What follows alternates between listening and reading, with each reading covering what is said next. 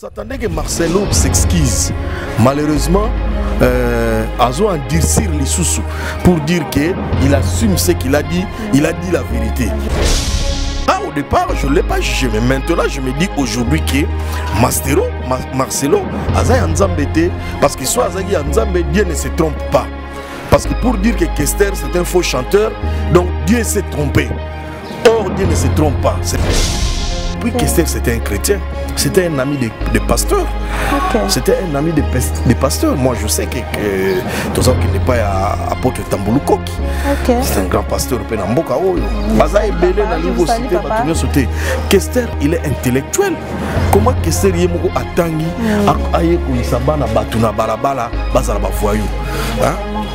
Kester c'est un kasapa c'est un kasapa bato ebele oyo lelo basimi mboka oyo ils ont étudié avec Kester papa Wemba il peut être son père King Kester même moi euh, je connais pas l'âge de Marcelo mais je ne pense pas que Marcelo à cause déjà là niveau ya bato wana même par respect il pouvait pas appeler papa Wemba Wemba Wemba excusez-moi si vous êtes de sa famille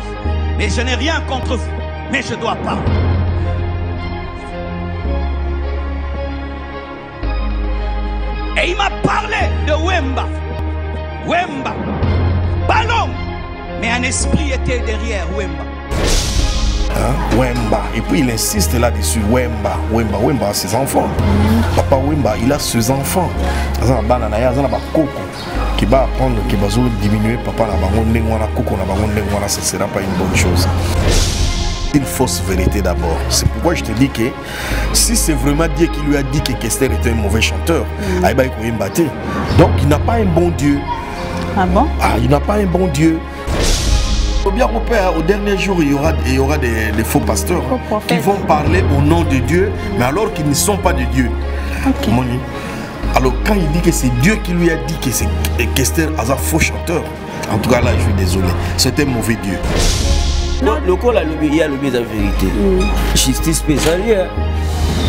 lokola alobi yango vérité ye ko ayebisa biso kiye mm. oyo ye alobi fo aya mpena na nzambe yango oyo ya nzambe oyo alobi na ye mm. la justice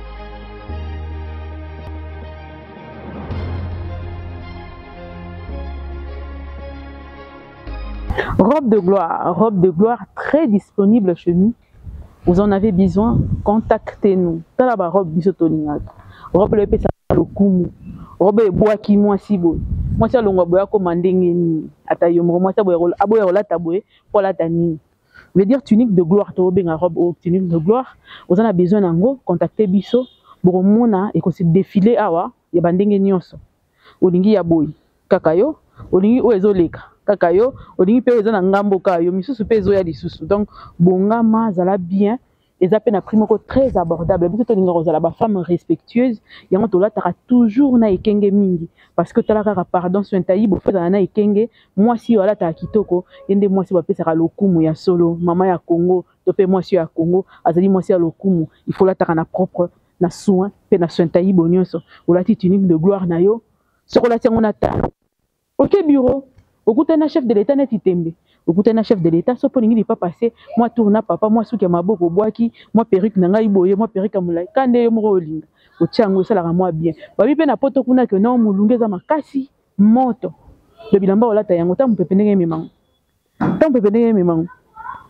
Pepe ndenge emema yango. Elemba lemba, eh, oyebi yango eh, yango oyo.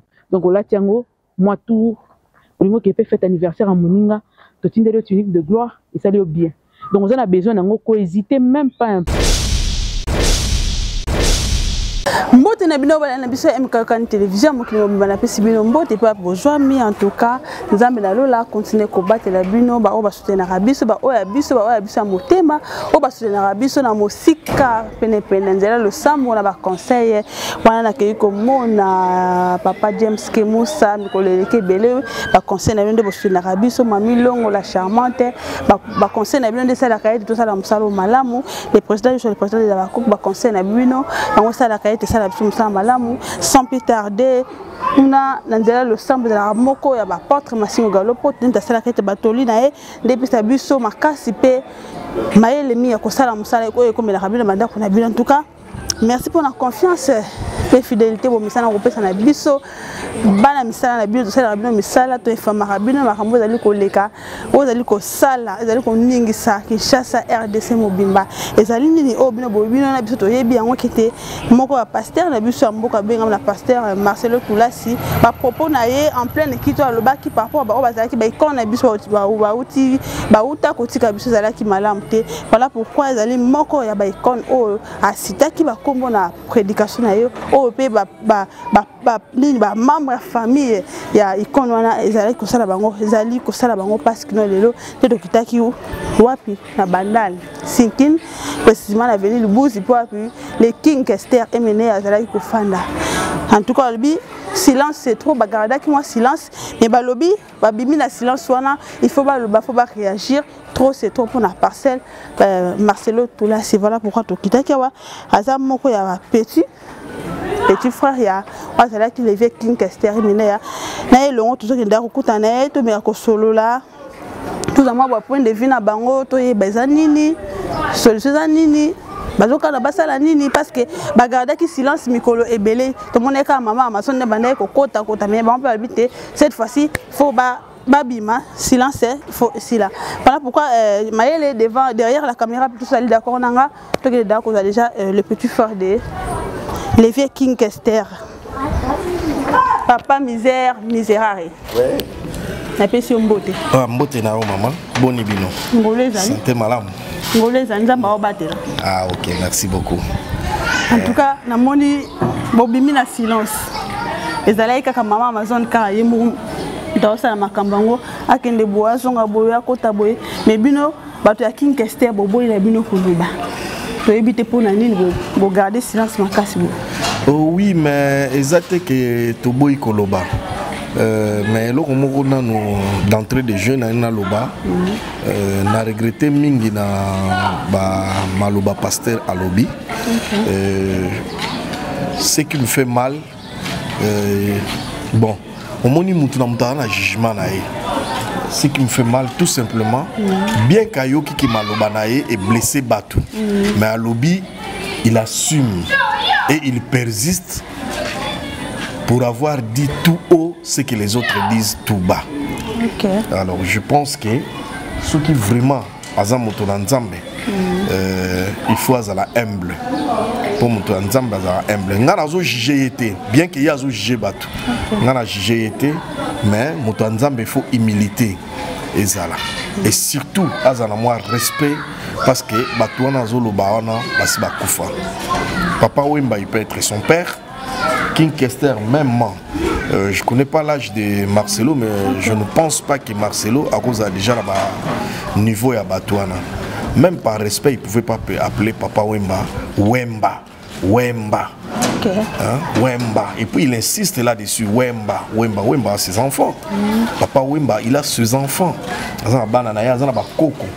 qui va apprendre que bazo diminuer papa na bango ndenge wana koko na bango ndenge wana ça sera pas une bonne chose euh, côté à Kester là où moi je suis pas d'accord avec lui mm. quand il dit que Kester ayebaki koyemba te mm. donc mbala moko na baprophétie nyonso apesaka na moni yango ekwei kadike Parce que c'est connu de tout le monde, que Kester est parmi meilleur le meilleur chanteur Yamboko et la musique congolaise, depuis musique et Banda. Ti Lelo, en tout cas, Kester est parmi les cinq meilleurs chanteurs Yamboko. Si c'est vrai, si c'est vrai que Dieu nzambe moto alobeli ye ke makambo oyo ye azoloba wana mhm. donc c'est que son dieu aza nzambe na ye aza bien te il doit changer notre dieu mhm. parce que dieu ne se trompe pas et tout ce que dieu dit ezalaka correct par contre oyo aye nzambe ne oyo ayebisi par rapport ya koyemba ya kester non il atapa à côté mais mabe nini pasteur masolo alobaki na makambo wana alobi ye alobi kaka verité verité ya bato oyo baikona biso bautaotasimo lolenge bazalaki makambo banda ya kosala so lelo mboka na biso ekomi rate bo eza grâce na bango abi ezalaka vérité pourquoi bino bolingi vérité wana te c'est une fausse vérité d'abord. C'est pourquoi je te dis que si c'est vraiment Dieu qui lui a dit que Kester était un mauvais chanteur, mm. donc il n'a pas un bon Dieu. Ah bon ah, Il n'a pas un bon Dieu.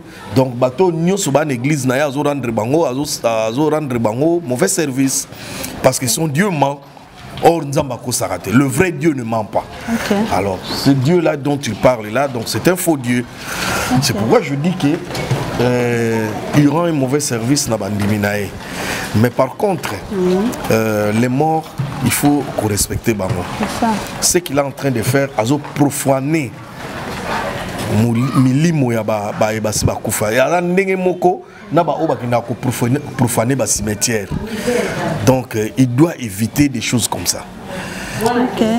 il doit éviter les choses comme ça namoni déjà mama voilà mama déjà azolakisa biso mhm. mayele soki kozwa oyo azali grande sœur ya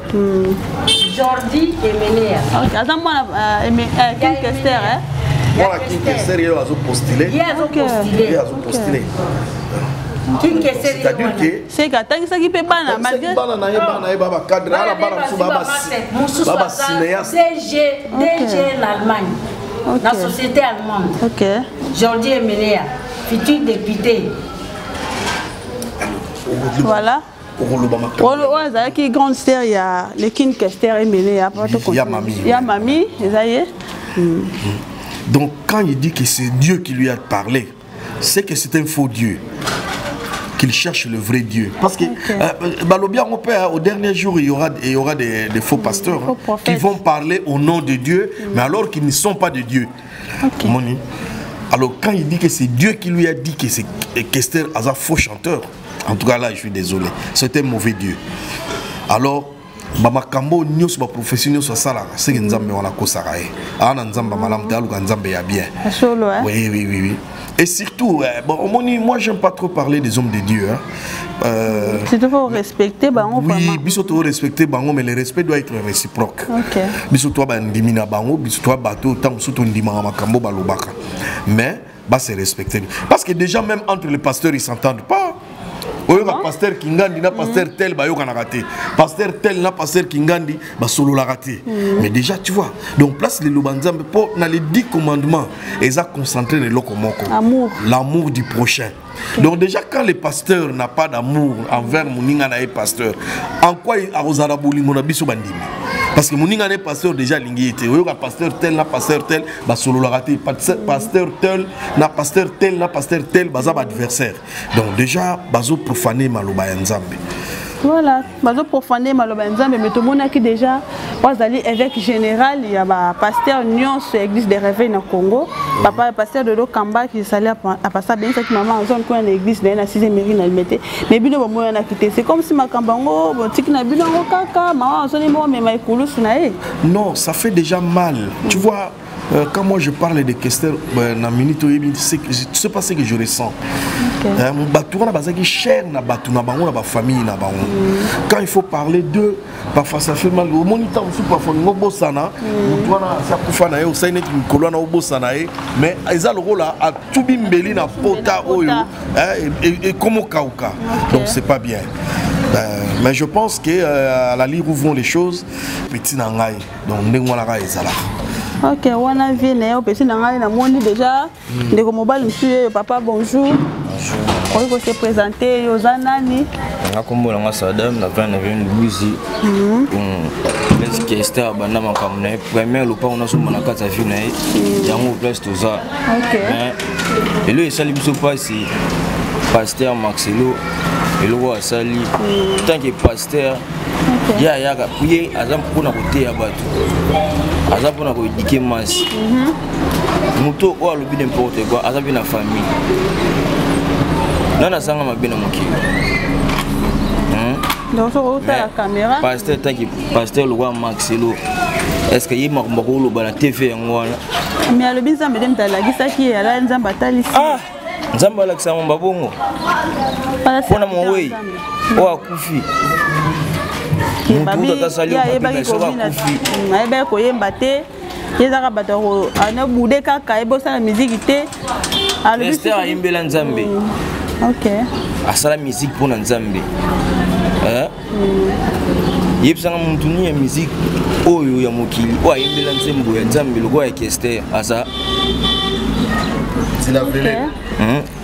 nzila velele hmm. boyoka yango te ebeta ah. tofongola mitema bato mpo totalaki yo nde oza bonzambe koleka banzambe nyonso ye nde mwana nzambe biso toba bana banani mais alobi soki lelo jeunesse ya lelo eza rate eza grâce na bango ah, eza grâce na bangoso biso bakinois lelo bazokosala eloko te bazosape kaka bazobude kaka mais bana eloko te eza grâce na bango moto ya moto wana psychologie na ye na mokili moto ya moto wana idée na ye moto nyonso oteyaka ndenge moko koma fe yo kokolanda eloko oyo ya moto mm. yo kosalela idée na yo te etanke pasteur ya kolomba bongo te mais alobi nzambe nde moto alobelaki ye ah. soki lelo jeunesse eza rate eza mpona bato wana mibale jamais mpona bongo na boyo yango mais achange ye moko ayebi asalaki erreur mais soki ezalaki moto abangi nde alobaki yango hmm. bongo ata babangi na ye soki ye paster ntango hmm. makambo alobi tobenga yango nini alobi akosexcuse te parce que mamu nyonso alobi eza verité lokola boyebi yango te ke lokola alobi ye alobi eza verité mm. justice mpe ezali eh. lokola alobi yango verité ye mpo ayebisa biso kiye mm. oyo ye alobi fo aya mpena na nzambe yango oyo ya nzambe oyo alobi na ye mm. na justice alobama oyo bambuya alobaki okay. asali meme réputation ya famille ya kester famille mobiyala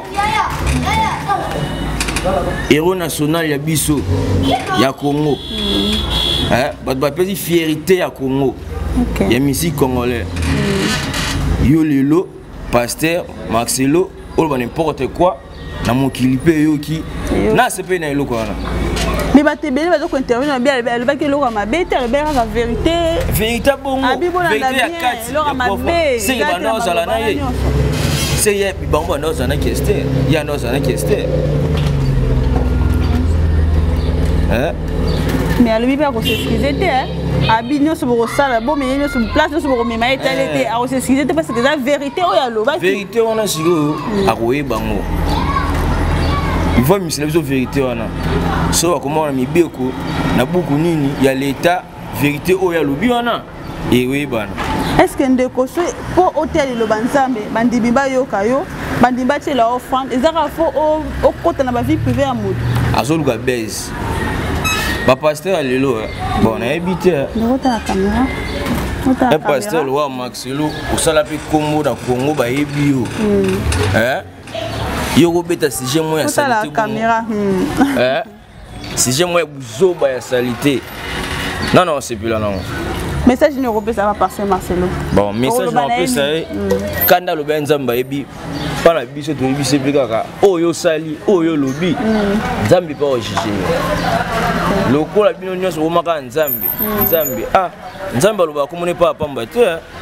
lokola yo komosakana na nzambe na makambo ya buzoba na yo hmm. nayebi te eloko osala na nsima mokongo na yo oloba n'importe quoi na nkombo ya bato mpo ozwa base mais nzambe mpo afuta yo nzambe mpo afuta yo bandeko baza ebele ndeko bonjour napesi bino mbote bonjour kombo nani oyo se présente nga kombo na nga grace na fani na vini kukusi numero 11 ok oza nani epa lesivie kinkester nga naza lokola neve ah, neve na ye ok oza mpe membre ya famille na ye bapropos ya paster marcelo r boyokaki yango osala ye bino ndeni osala ye biso mpasi parce que jamais pasteur akoloba n'importe quoi bongo te mais siza motu deya akufa mpo nzambe arevele eke bato wana bazobebisa jeunesse jeunesse ebebi par rapport à quoi bango nde basali te jeunesse bakoka kosorganize te baza na bilamba ba 10 000 dollar me na compte banke baa na eloko te baza na eloko te batiki bandako te batongi te basali eloko moko te batiki bandako atiki bandako na bango esi ayebi nyonso oyo andosala soki ando obomba ayebi te jamais koloba n'importe quoi bon mais namoni boza choqué makasi mais mais jusque là bo garder silence makasi na makambo depuis bandaki kaka nde lelo na kambo bosali mwa sortie médiatique na bino banosi yaka mama amazon kaka makambo nyonso ye moko akenda baluka c'est comme si bino bon makambo yango esali na bino mpasi te boza na bino à l'aise par rapport ya bapropos wana toza à l'aise te dérange ya biso ce n'est pas que baza à l'aise mm. mais euh, une chose est vraie devant un problème, il faut réfléchir. Euh, nous, on a eu le temps de réfléchir parce que Ndezabo, le temps tout cela, parce que Emene Azagi Moutou ya Moutou Morote, il n'appartenait pas non seulement à sa famille. Emene Azagi Moutou ya Batouana, ba petit na le roi, ba des affaires Mikui, baza à Paris, ba José Mubiala baza na Paris ba Dodo Mukoko ba Kabobo ya Maneli donc eh, baza bato oyebi bakanda ba na ngote na minute oyo mais baza ko se réserver un peu et puis bazo tala na ndeni makambo yango ezo évoluer bango euh, on s'attendait que Marcelo s'excuse malheureusement euh, azo endurcir lisusu pour dire que il assume ce qu'il a dit il a dit la vérité, la vérité. mais voilà Là, au départ, je ne l'ai pas jugé. Mais maintenant, je me dis aujourd'hui que Mastero, Marcelo, Azaï Anzambete, parce que soit Azaï Anzambete, Dieu ne se trompe pas. Parce que pour dire que Kester, c'est un faux chanteur, donc Dieu s'est trompé. Dieu ne se trompe pas. Cela signifie que Marcelo n'a pas parlé avec Dieu. Donc ah voilà le vrai problème. Oui, Marcelo. y a créé un Dieu ne se trompe pas. Kester, s'est connu de tout le monde. banda na se ti likolo que c'est un grand chanteur mm. un grand chanteur parmi les meilleurs même du Congo alors quand Marcelo dit que euh, Nzamba ayebi se que Kesser ayebi koyemba te cela signifie que asolaka na Nzambe te pour soi azali kosolana Nzambe Nzamba apesa ba vraie réponse or lui il a une fausse réponse que Kester est un faux chanteur. Voilà. Ok, il a faux chanteur. Ok, na to jinde ko na pso mso mobile. Ah bonjour mon frère. Bonjour. Faut ko se présenter aux nani. Na boshi, je vous a ba petit à Kester, ba pure petit à venir. Ok, il a venir. Oui. Na moni boza toucher makasi hein. eloko wana etouche biso ma ekoki vraiment kotouche biso mobima te mpo eza vérité te donc quand ce n'est pas une vérité on peut bafoue tokotyango à côté okay. pour un pasteur akotenir bapropa boye te mpona moto akufa mm. epuis meme de ye moko déjà ayebi ke depuis musique congolaise kester aza kaka inclus epa na kati parmi bagrand chanteur aza wana na kati nakoloba bongo na sentiment nayebi te nini ezwi ye mais vraiment de mon côté je suis touché pour un pasteur atenir bapropa boye epa moto moko mowei mpe reconnu mm. internationalement je peux dire mais balobi ye nde moto asali ke eza bango mibale na papa oyo basali ke lelo éducation ba kinois ezala raté ba kinois batangi te batanga raté basala eloko ya malunga te babundaka donc bango eza mbongo na bango ezaka kolata se parfumer esili mais edépendant na psychologie ya motu motu na motu ayebi nda vivant akozala azo épargne oyo mazomisepelisa neti ye mpe soki toyebi pasteur marcelo ozala te alata lokola bapasteur nyonso te mm. ya des fois oyo alingaka mpa misepelisa alata veste moko esepelisi ye ya cher boye na boye mais surtout mpe auti kobimisa abi asali griffe vestimentaire na ye na mt donc marcelo toulas acreye ya ye moko acreye ntango mosusu tokosomba ekomi ke tolingi kosomba te nini nini génération etiami ya kote kaka bilamba mais ozo creye ba nini vestimentaire donc seke aza mpe kaka idole kaka ya bato wana kati wana omonki ye mpe aza na posa ya vêtement wana azolandaka ba vêtement ndeke na ok nayebi te ndeko soki kobakisa liloba soki ezali okoki kobakisa po to clotire na papa nango nabakisa mm. atika na kamera atika bongo eza bien te parce que derange ye biso ti toye boye ti somoki ke tolobi boye parce que dérange biso choke biso makasi mm. atika n'importe quoi wana ok papa misala to clôture na yo nayebi te décision na bino eza nini bozwi décision nini okokita no boye papa bozwi décision nini euh, bozokana bosala nini euh, botika na bino yango eleka bongo soki bongosala likambo bokoloba yango nanu publiquement te euh, sinon euh, boko réveiller peut-être mpe bato oyo boza na bango na problème euh, eza makambo ya mokili mm. euh, emene à sa famille bana emene à moi je parlais avec euh, petit na nga mais na kati ya mikili mm. petit ayebisi ngai ke non euh, il a déjà contacté son avocat bo tozozela tozozela kaka tozozela totala donc kolala kolamuka euh, tout peut arriver me tomoni sorti médiatique ya boketshu hmm. boketshu amesana kofinga kokritike bato mais cette fois-ci aza na ngambo na bino donc euh. alobeli pasteur marcelo bon ngai nayoki yango te donc na na commentaire akosala te na makambo ya boketshu euh, ça n'engage que lui euh, mais merci déjà na solidarité wana soki euh, esali epa mpo boketshu au départ bato fo bayebaka boketshu ayaki musicien awa mm. boketshu ayaki musicien a ah, musicien e boketshu ayebi valeur ya papa wemba na ya king kester donc ndenge omonaka boketshu en dehors ya makambo na ye oyo eza etali ye mais boketshu c'était musicien donc